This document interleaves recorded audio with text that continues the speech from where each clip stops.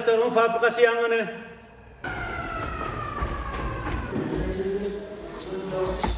Hı.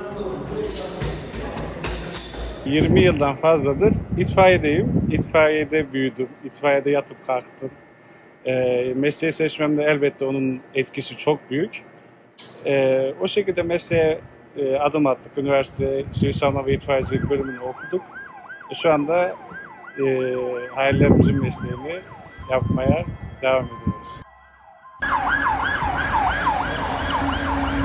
Meslek aşkı babadan gelen bir şeydi biz hani. Babadan gördük. Onun yanına gide gele gide gele alıştık bu mesleğe. Zorluklarını efendime söyleyeyim, insanlara faydalarını buradan gördük. Stajyerlik zamanında babamla aynı vardiyada çalışma şansı yakaladım. Beraber olaylara da çıktık. O ayrı bir gurur verici, mutluluk verici bir olay oldu tabii ki.